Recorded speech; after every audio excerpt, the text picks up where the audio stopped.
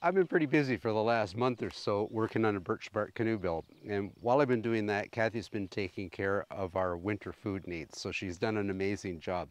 We've got a number of gardens, uh, four or five gardens in total. And um, she decided to experiment this year with um, some of the potatoes. So in this particular patch, she's, she's heavy mulched it, or we've heavily mulched it. So it gives it both a growth medium for the potatoes, but it also will retain water from the sky. It's been an excellent year for waterfall. So the skies have provided us with the right amount of water at the right time. We haven't had to irrigate the garden yet, uh, but things are coming pretty good. Over here, we we have asparagus that we have yet to harvest uh, to taste. So we've just uh, we've let it go to its fronds, and this year we doubled the amount that you see. Uh, it's not up through the ground yet, so uh, a couple years we're going to have a really good asparagus patch. Wee bit of history. The oldest known asparagus patch in the world now dates back and it's documented. It's almost 190 years old in England. So once you get these bad boys established, you got you got food for a long time. Anyway, I'm going to take a look over here at, at another garden, and it's our traditional method of growing potatoes.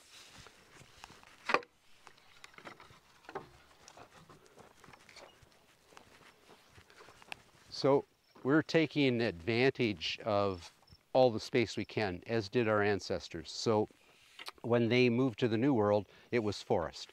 And they gradually cleared. They cleared to build their house, they cleared for gardens, they cleared for pastures. And wherever they could find a patch of ground big enough to grow something, they planted it. So our strawberry patch, it's, it's pretty much done now. We do have a few blossoms le left, but the, the critters seem to be eating more strawberries than we are. And what we've done in this garden, which is our orchard, uh, but for a few years, because we've got space until these uh, apple and pear trees mature, we, we have space to grow stuff. So traditional type of uh, potato planting, we've hilled them twice now. We'll hill them once more. And we're going to see how that compares to the mulch uh, process that Cathy decided to experiment with this year. Anyway, on to some more gardens.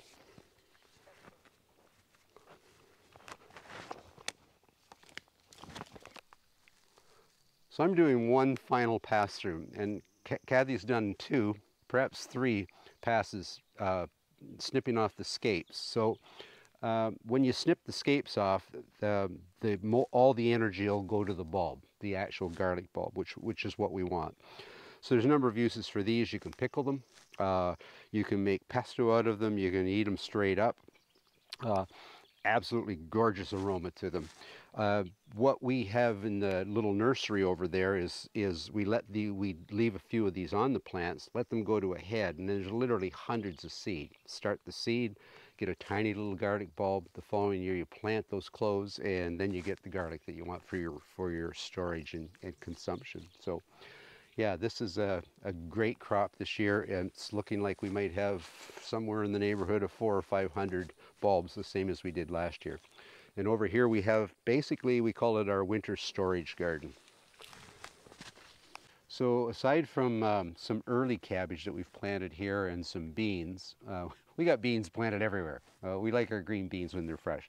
But these are an earlier cabbage, so these two rows will be sauerkraut, and that'll give us about a five to an eight gallon crock full of sauerkraut for the winter. We have parsnip planted over there. These little tiny guys here this is a really good um, keeping cabbage. So we planted them quite late. They're pretty small now, but we want them to head out um, sort of October. And they're not big heads, but they're very firm. And that variety we put in the root cellar last year, we were still eating it at the end of March. So an amazing keeper. And let's see, over here. So what we've got here are onions, obviously. We've got a few rows of carrots. We've got some beets. Uh, and then over in this garden, we've got uh, rutabaga, two rows of rutabaga, one planted a little earlier than the other.